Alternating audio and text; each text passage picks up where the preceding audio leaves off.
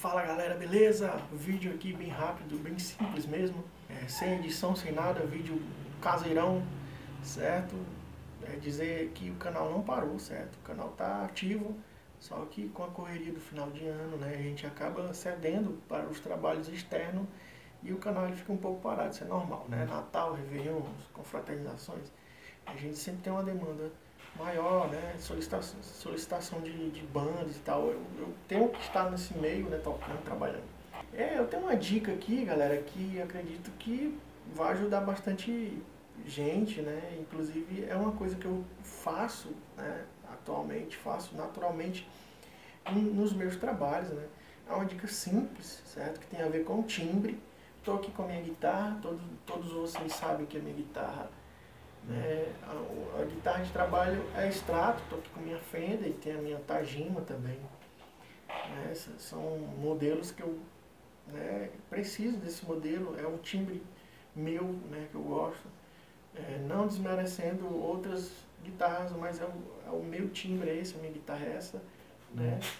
E cada músico tem a sua sonoridade. Né? Então, é, quando você está né? Quando você está na noite, né? Sempre rola, isso é natural. A gente toca solos, né? Música de, de várias bandas, artistas, né? E sempre choca com esse, essa, essa questão de timbres, né? Muitos artistas e muitos, muita variação, né? De timbres.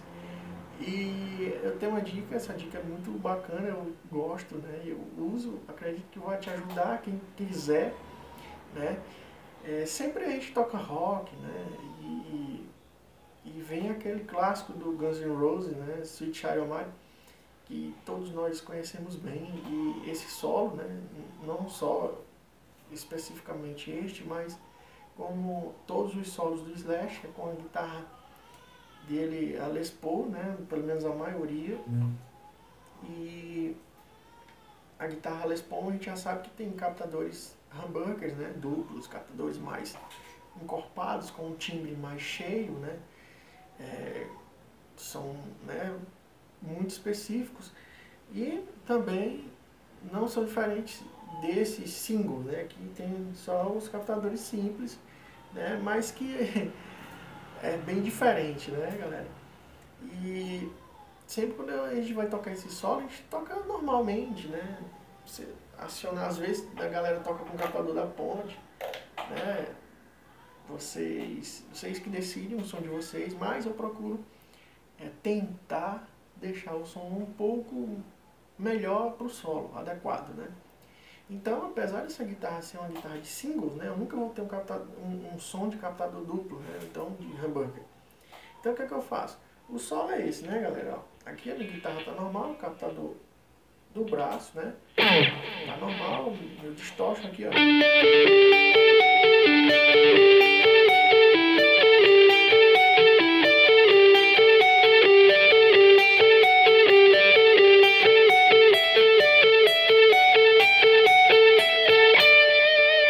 Fiz aqui o solo normalmente, né? Eu posso fazer normalmente, assim, né?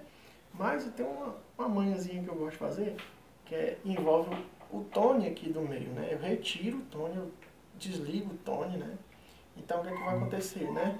O som do meu captador, ele vai ficar mais fechado, né? A ausência do brilho do captador, ele deixa o som mais, mais gordinho, né? Lembrando um captador duplo, né?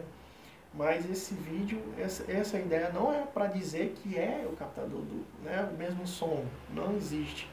É apenas eu, eu simulo aqui um, um, um, captador mais gordinho, né? Que dá a impressão de ser um captador humbuck, né? Então com ele fechado, ele vai ter essa ausência do brilho.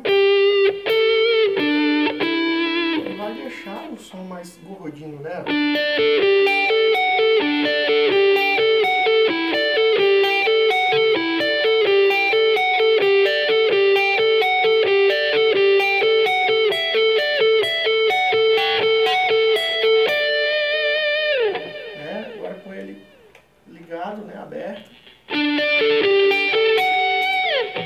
fechado.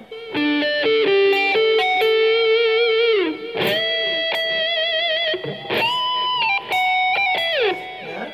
Eu gosto de fazer isso porque lembra um pouco né, a, o timbre, né, dá uma impressão. Né, e eu gosto muito. Né? Ele, ele todo fechado, ele, ele fica bem característico.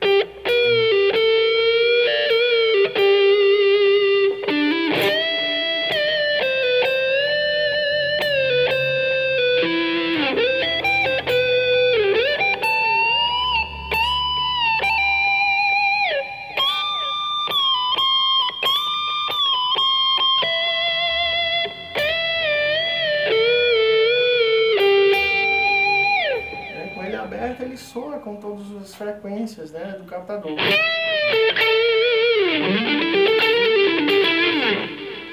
Ele fechado.